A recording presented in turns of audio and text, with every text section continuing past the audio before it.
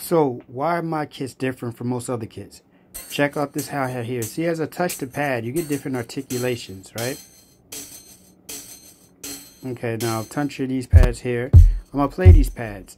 And these will give you a natural feel and a natural swing without even applying swing for your production.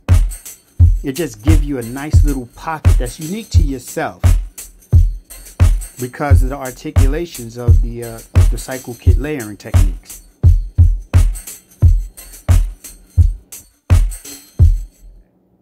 Now even with these here, you can hear the different articulation of this kick and snare here.